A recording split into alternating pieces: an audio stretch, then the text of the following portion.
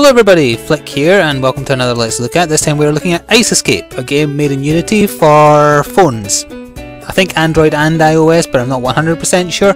This is a little pre-release build to get a bit of exposure. I will say from the get-go, the game is going to be totally free and apparently have no adverts whatsoever, so this must just be the developer getting his name out. There will be relevant links in the description below. Uh, it follows the same kind of architecture as Cut the Rope, Angry Birds, etc. You can go through all the levels of trying to earn 3 stars. We'll jump into start. And this preview build actually has all the levels unlocked, however, rather than show off late game, I'll just I'll show off the earlier stuff. So we'll go into the first world here as this little fun guy here. Uh, we might as well just start the first mission, I guess. So because it's actually a, a mobile game, the instructions are actually for that. I don't know if there's going to be like a, a, free browser version or, or similar available, but we'll see I guess. So swipe anywhere, what it just means is use the arrow keys in this case for me. Uh, he slides until he hits an obstacle. So for those of you who have been following the series you might be familiar with this kind of puzzle from Labyrinthine Dreams. I did a very similar thing, although in that you couldn't take left turns, which made it far harder. However, the, the basic premise of this puzzle other than when it starts very easily like this to get used to things, uh, is it's sometimes hard to concentrate on these puzzles if you're trying to think about what you're saying at the same time. So bear with me if I get stuck on something which seems to be rather simple, because I'm trying to concentrate on what I'm saying more so than what I'm doing. But luckily, the first few levels are very easy. You get rewarded for picking up all the bones, the key you need to finish the level, so that's the only requirement. And you get a bonus for doing it in as few moves as possible. So let's do this one. Now this is another very easy one, just introducing concepts. Later there's obviously hazards get, that get introduced rather. Um, different types of dinosaur to play as. I think, oh, alright, here we go. Tip, free T-Bone, the Stegosaurus, rescue all 10 for a special surprise. If I remember rightly, I couldn't get this one, although I could get the second one, and this is supposed to be the easiest. So this is a little two region map. Go down here. So as you point out, I'm I don't think I'm in the the age range that this is perhaps meant for. Um, I would say younger people would definitely enjoy it. So if I grab this key, oh, and then I just go over here. Why didn't I think of that the first time I was doing this? I mean, I'm distracting myself by talking, and I worked out this time. Wow. So I'm not sure what he does exactly. Um, I think he kills all the enemies that he touches, but I might be wrong about that. Uh, where am I going? I'm going the wrong way. I'm going to miss some bones when I do this though. Oh well, that's fine. I freed the Stegosaurus. I'm still not sure what happens when you free all them. So this is the first one with uh, an enemy in it.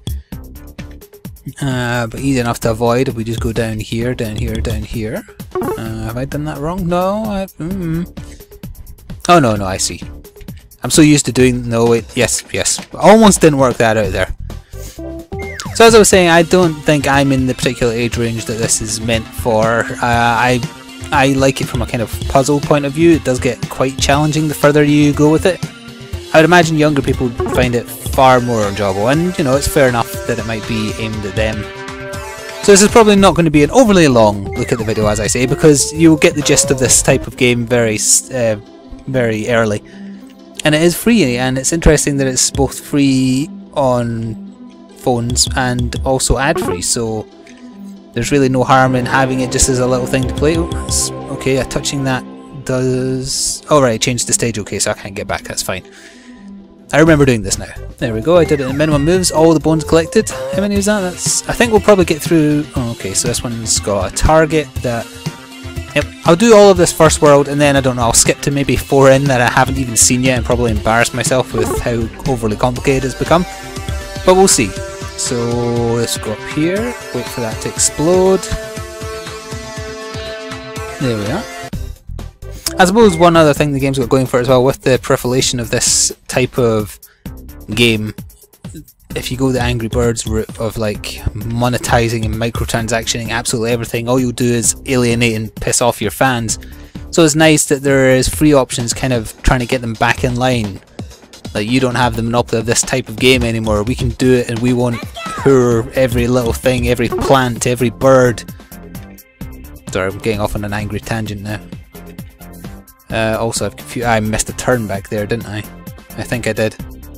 Let's just go round again in the cycle and I should be... Yeah, I see what I did. Okay, there we go.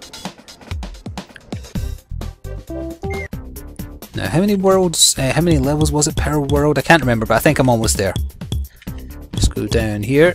Uh, if I want to get all of them, I'm going to have to go round. There we are. I didn't do that last time. I remember not bothering. Oh wait, no, that wasn't exit. That was just the key for the exit. Um, bounce back. Thank you. And then we'll go over here, along here. Uh, oh yeah, I see. Okay, down, down, down. Wait for him to pass. Although you can take three hits before you die, so it's not like. Although I assume it penalises. There we go. We're into the second world where we would be playing as this mammoth guy. Uh, I'll show off one level as him. So his thing is there's boulders and he can push them which changes the dynamics of where you're able to like you slide for, to and from because he's moved them. Uh, and obviously it starts very simply but I'll I'll go to one of the harder ones and see if I can embarrass myself on how hard it gets. So if I go back to menu uh, which back button is it? No, it just changed it from being locked to being unlocked. Uh, oh, up here. There we go. So we'll go to start. Uh, I won't show off the latter half, so if I say... Pick this one. What does this one do? The train. Okay, let's see. Oh, I have to steer all three of them? Wow. Okay, I may be in over my head here, because I don't know the abilities of this person it's maybe play as first. Presumably there's some kind of power they have? Oh, I see. Okay, so standing on the switches do that. However, it might be slightly foolish of me to do this when I don't know the button to change character, possibly just click. It's not just click.